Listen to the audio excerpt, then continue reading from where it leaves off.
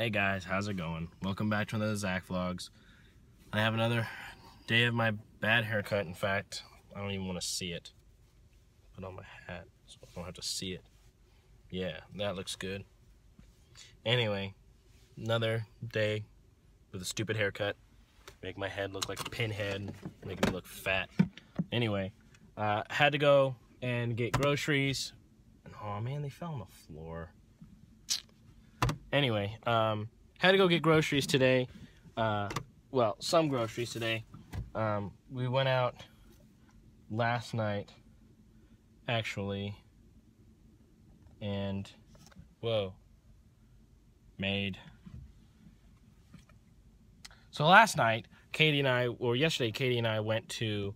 Man, my phone is so big, I don't know how to hold it anymore. Um, last night, Katie and I went to uh, Aldi and we got some groceries.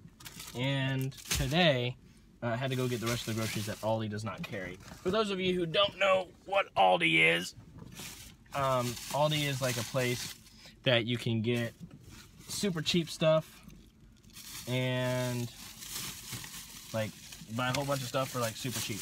And it's wonderful. And it's great. The problem is it doesn't have everything all the time. It's like whatever happens to be in the in the store for the day and uh,